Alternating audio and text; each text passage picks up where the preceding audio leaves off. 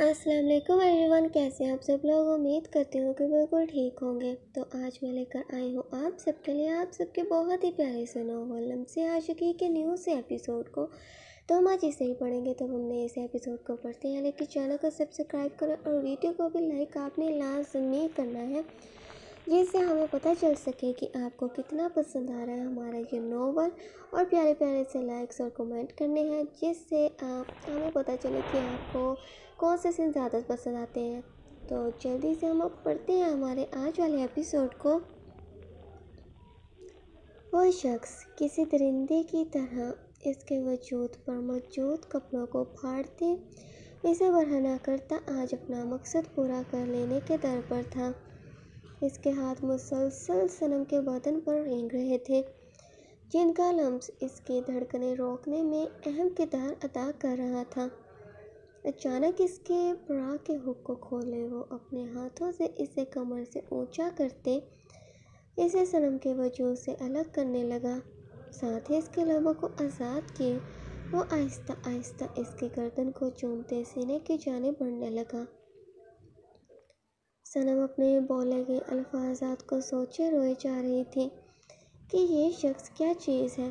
खुद इसने कहा था कि वो इसके वजूद को ज़बरदस्ती ही हासिल कर सकता है, वरना इसकी मर्ज़ी तो कभी ना होगी। वो हर किस नाराज़ी होगी अरहम को अपने करीब आने के। लेकिन इस शख्स ने इसके मुँह से इसकी मर्ज़ी ज़बरदस्ती मनवा ही ली। इस बात का गम इससे बेहद था। लेकिन अचानक से इसकी सांस तब रुकी जब अरहम ने इसकी बरा को इसके वजूद से जुदा किया। आखिर अब वो जितनी जल्दी हो सके इसे मुकम्मल तौर पर हासिल करना चाहती थी।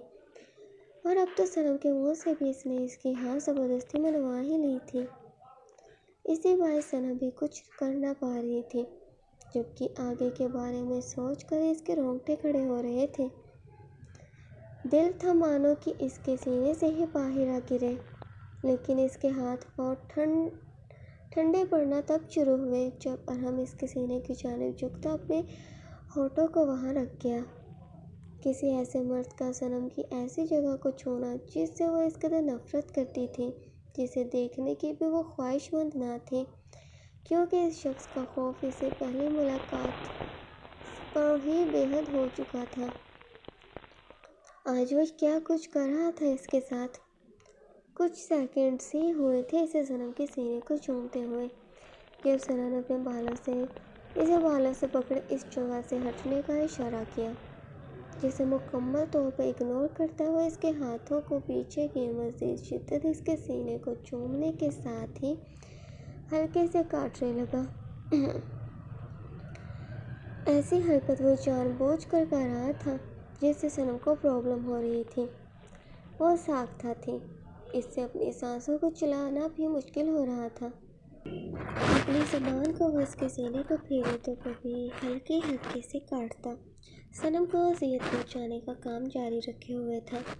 साथ ही वो अपना हाथ सनम के पेट के निचले हिस्से की जाने बढ़ाता। इसके थाई पर फेरना शुरू हुआ, हो गया।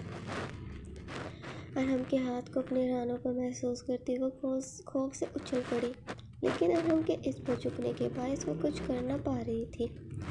आखिर वह इसके सीने को छोड़ता अपनी कलाई पर पहनी घड़ी को उतारने लगा और हमको जो घड़ी उतारते देख सनम तेज़ी से उठकर बैठ गई और ख़ुद को छुपाने की खातिर तकिए को उठाए गोद में रख लिया। वो सोच रही थी कि शायद अब की मरतबा भी और हमने इसके साथ इतना सब कुछ ही करना था। सनम को उठ कर बैठते देखकर हम नॉर्मल तरीके से घड़ी को उतारे साइड टेबल पर रखे। सनम की तरह बढ़ता इसे बाजू से पकड़े, एक मरतबा फिर से लेटने का इशारा करने लगा। जिसे देखो, हाथों को जोड़ती, तुम प्लीज़ मत करो मेरे साथ ये सब। तुम मुझे टाइम दो तो ये सब समझने के लिए प्लीज़ वो मिन्नत कर रही थी अरहम की। इसे समझाने की कोशिश कर रही थी कि वो इसे कुछ दिनों का टाइम दे दे। लेकिन अरहम वो शख्स था जिसके आगे किसी की मिन्नत करना, इसे मज़ीद गुस्सा दिलवाने का बायस बनता। इसी वजह से बुरे तरीके से इसे टांगों से पकड़े, नीचे की जानब खींचा, जिसके बायस वो पूरे तरीके से बेड पर लेट गई। तुम्हारे मुँह से एक लफ्ज़ भी निकलता सुनाई नहीं देना चाहिए। शोहर हो तुम्हारा। फ़र्ज़ है तुम्हारा फ़र्ज़ है ये सब तो। इसे फ़र्ज़ समझ कर कबूल करो। अब की मरतबा वो इसके फ़र्ज़ इसे बता रहा था।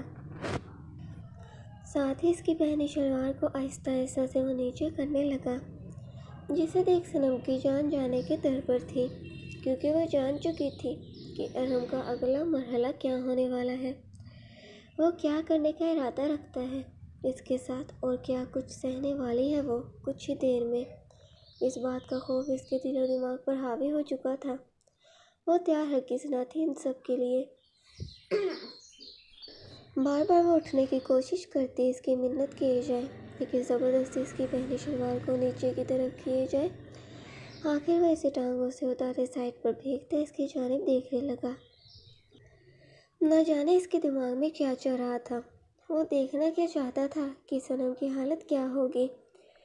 इसके हर अमल पर, इसके हर अमल के बाद इसके वजूद को हासिल करने से ज़्यादा इसे सनम के चेहरे पर अपने डर को देखना ज़्यादा अहम था।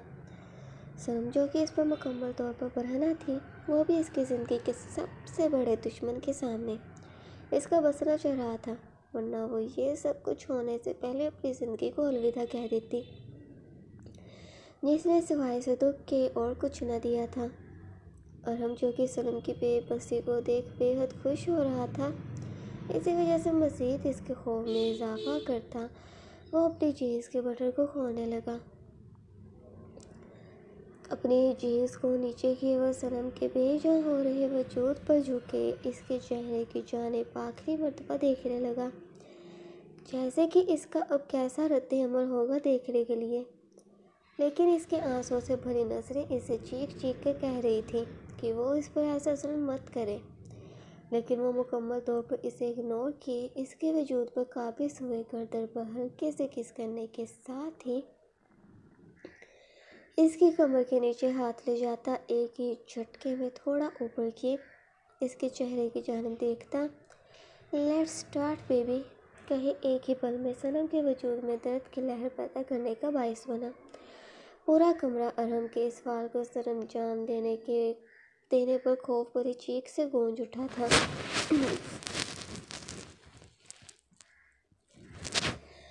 तड़पती वो किसी छोटी बच्ची की मानित भीख मांगने के अंदाज से, प्लीज़ छोड़ दो मुझे, प्लीज़, कहती इसे खुद से दूर करने का कहे जाए। क्योंकि इसके लिए हमको अफोर्ड कर पाना बेहद मुश्किल हो रहा था। लेकिन यूँ सनम का इसके आगे मेहनत करना अरहम को डिस्टर्ब करने का बायस बन रहा था। इसी वजह से अपने हाथ को इसके होठों पर रखता। शराब, ये सब लाजमी है। अब यूँ चलाकर मुझे और ख़ुद को परेशान मत करो। अब की मरतबा भी इसके आवाज़ पे गुस्सा था। अपनी बात को कहे एक मरतबा फिर से इसने वही अमल दोहराया। जिसके बाद वो अपने हाथों को ऊपर झुके, अपने ऊपर झुके अरहम के सीने पर रखे पीछे की जानिब धकेलने लगी। क्योंकि अरम ने इसके मुँह पर अपने हाथ को रख खामोश करवा दिया था तो फिर वो अपनी तकलीफ़ इसे खुद से दूर करने की कोशिश करती ब्याह करने लगी। जिसे देखकर हम इसके मुँह पर से हाथ उठाता इसके दोनों बाजों को पकड़े ऊपर की जानब किए इसके होठों को अपने लबों में कैद करता। हर बात का लिहाज बोले यहाँ तक कि सनम की तकलीफ़ को भी मुकम्मल तौर पर इग्नोर करता तेज़ी से अपनी शिद्दतों को लौटाना शुरू हो गया। सनम जो कि पहली रंग के पहले बार सब बर्दाश्त कर पा रही थी, लेकिन अब की मरतबा हम की शिद्दतों को तेज़ी से सह पाना बेहद मुश्किल था। यूँ हमको इसकी बाँसों को पकड़ने और साथ ही इसके होठों को जानबूझ कर अपने लबों में कैद करने, जिसकी वजह से वो अपनी मदद के लिए कुछ भी न कर पा रही थी। इस वजह से इसकी दी वाली जाने वाली तकलीफ़ को सह पा, सहन करने की कोशिश में लग गई। लेकिन इसकी आँखों से निकल रहे आँसू अरुण के लिए नफरत मज़ीद बढ़ाने का काम कर रहे थे। इसे इसे नफरत आ रही थी। इस पल से जब मास की खातिर इसने इस शख्स को थप्पड़ मारा, जिसका बदला वो आज यहाँ इसके बिस्तर पर रसीद को सहते बर्दाश्त कर रही है। वो इस जालिम शख्स के साथ हरगिज़ भी ना रह सकती थी, जो आज अरहम इसके साथ कर रहा था। इसके बाद वो इसके साथ सारी ज़िंदगी को गुजारने के बारे में सोच भी नहीं सकती थी। एक ऐसे शख्स के साथ जो ज़बरदस्ती ही बीवी बना के इसके मर्ज़ी मर्ज़ी के बगैर करीब आता रहे।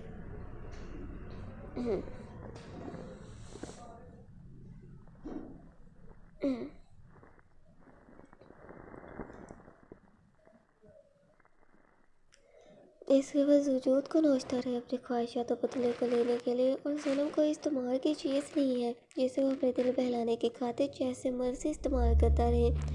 वो फैसला कर चुकी थी, इस आलिम शख्स से बेहद दूर जाने का। और हम इसके होठों को बेशक छोड़ भी दिया था, लेकिन बार बार वो अब कुछ ना कह रही, लेकिन फिर भी वो कुछ ना कह रही थी, बल्कि ज़िंदा लाश के माने इसकी दरिंदगी कब तक चलेगी का इंतज़ार किया जाए। कब तक वो इसके साथ यही सब करे, सबर किए, सह रही थी। आखिर दिन दिन के दो बजे से लेकर शाम के चार बजे तक और हम मुकम्मल तौर पर अपने अंदर लगी आग से सनम को झुलसाता रहा। अब ये आग बदलेगी थी या कुछ और, ये तो शायद वही जानता था। आखिर सनम को यूँ अपनी आँखों को बंद करते देख वो इसकी से दूर होता है इसके गाल को चूमा। इसकी दाढ़ी की चुभन और अरहम के खुद से दूर होते देख से उसने अपनी आँखों को खोल लिया। जैसे कि न जाने कब से वो इंतज़ार कर रही थी। यूँ सनम को आकर खोल देख कर मुस्कुराता हुआ उम्मीद करता हो कि कोई कमी न छोड़ी होगी। मैंने आज कल इतना ही। बाकी कल करेंगे। सो जाओ काफ़ी थका चुका हूँ तुम्हें। वैसे एक बात बताओ मुझे। नहीं लगता कि तुम्हारा कमज़ोर वजूद मुझे यानी कि और हम राना को बर्दाश्त करवाए। बट वेल डन तुम्हारे सफ़र की दाद देता हूँ। जो कि खामोशी से मुझे सह कर लिया, सहन कर लिया। वैसे तुम्हारी कंडीशन को देखे और खामोश रहने के बाद इसे जल्दी छोड़ दिया। वरना देख सकती हो मुझे। इतनी सी मेहनत में मुझे खासा फ़र्क ना पड़ा, बल्कि मेरे अंदर का जोश अभी भी भरा पड़ा है। लेकिन तुम्हारा ख्याल तुम्हारा ख्याल कर रहा हूँ। इस वजह से सो जाओ अभी भी इतना सब कुछ करने के बाद भी वो सनम पर ये एहसान कर रहा था।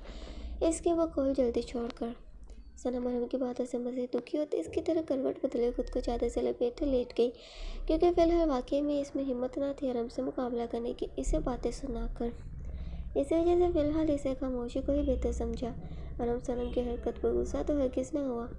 बल्कि खुद वहाँ से उठा, कप, वहाँ से उठाता कपड़ों को उठाए, कमरे से बाहर चला, उठता कपड़ों को उठाए, वहाँ कमरे से बाहर चला गया। शायद वो कुछ देर सनम को किला छोड़ना चाहता था, या फिर किसी काम को करने के लिए गया हो। सनम में मुसलसल होती मास को याद किए जाए कि इस ालिम शख्स के बाद बाईस आज इसकी ज़िंदगी बर्बाद हो गई। आज इसके साथ ज़बरदस्ती की वो भी इस ऐसे शख्स में जो ज़बरदस्ती इसका शोहर बना है। न जाने अभी एक मरतबा था या फिर रोज़ ही इस शख्स को ज़्यादा का निशाना बनती रहेगी वो। मास खुद को मुतमी ज़िंदगी बसा कह रहा होगा। लेकिन इसका क्या वो तो एक ऐसे मोस्टर की कैद में बन चुकी है, जिसकी रिहाई की चाबी इसे मिल पाना इम्पॉसिबल है। क्योंकि वह एक अमीर इंसान था और पैसों से तो इस किस्म के लोग कुछ भी खरीद सकते हैं। और अगर वो यहाँ से भागने लगे तो और हमें से ढूंढ तो लेगा ही। इन्हीं सब बातों को सोचते वो पागल हो जाए क्या क्या क्या कर, करे तो करे क्या?